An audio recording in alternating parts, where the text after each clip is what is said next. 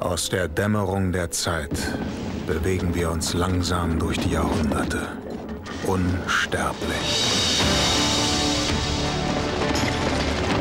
Auf seiner Reise durch die Zeit erfüllt er die Prophezeiung, dass es nur einen geben kann. Aber jetzt gibt es eine Herausforderung. Sein Name ist King.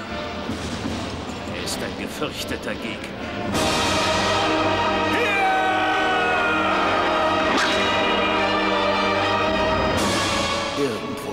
Draußen ist der Highlander und seit Jahren ist er mir noch etwas schuldig.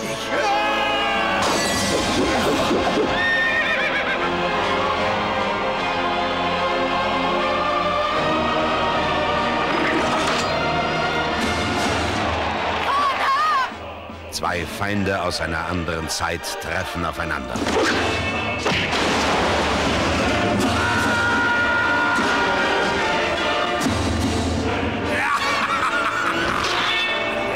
Dann in der Hölle. Es kann nur einen geben.